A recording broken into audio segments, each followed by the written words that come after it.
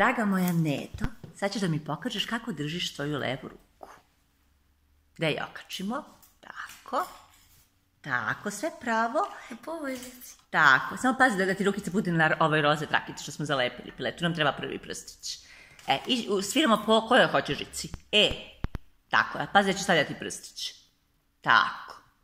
E, idemo, prvo prazna. Čup, pa sad prvi. Tako je, opet.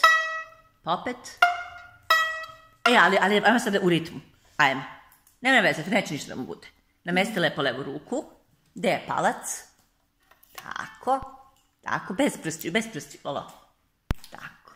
E. Idemo sad. Prvo, ne, ne, prsti su iznad žice. Iznad žice su prsti, idemo prazna žica. Prva, š, cim, prazna, prazna, bez prsta, prazna, š, prvi, š, tako je, prazna, bravo, š, bravo, opet prazna, š, pauza, bravo. Neco, divno je. E, možeš to da mi ociraš na najdebljoj žici? Mhm, kako se zove ova najdeblja? Si zaboravila? D. Ne, G. G. G. I okreneš onda, znači pazi gde ti je prvi prstić. I pazi, a šta- da- kako ćemo da čupkamo? Tako. Ajmo, idemo prvo prazna. Šta smo rekli? Levu ruku potpuno ispravimo. Ajmo, idemo sad. Prazna.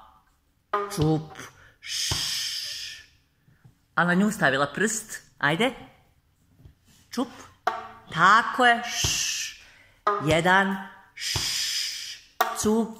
Bravo. Jedan. Šš. Bravo. Ispravi lepo ruku, kako? Bravo, Neto. Neci, lepo držiš levu ruku. Hvala. Molim. Ja znaš sad kako ćeš vežbati kući. Da. Kako? Prvo čupnemo Prazno. praznu žičicu, pa kažemo Pa onda opet. prvi prstić. Tako je. Hvala. Idemo sad na pauzu, ti pauziraš da vidimo šta će Eva raditi. Može poljubac? Da. Ajde. Mua. Ćao.